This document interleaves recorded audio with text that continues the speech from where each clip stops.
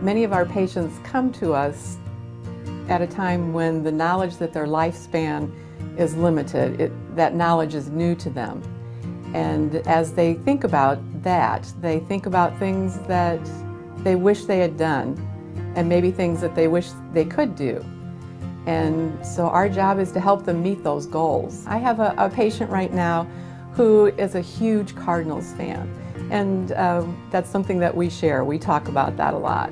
And she had a birthday in the middle of the summer. And so I was able to contact the Cardinal organization and they were very helpful and very kind and sent her three or four packages full of Cardinal paraphernalia and she was absolutely thrilled.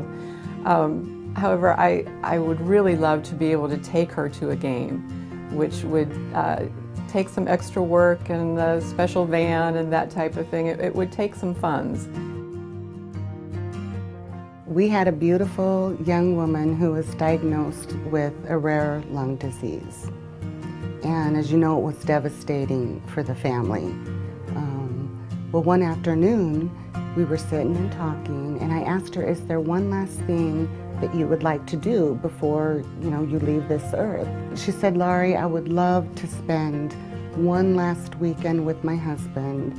You know, as a couple, we haven't been able to do this for so long. And they were able to spend the weekend in Springfield at a nice hotel um, they stayed in the presidential suite.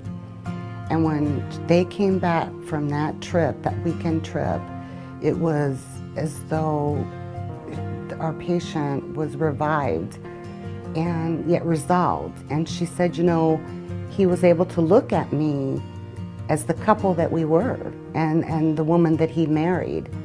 It, it, it reinforced the importance of those moments that they so strongly need and want.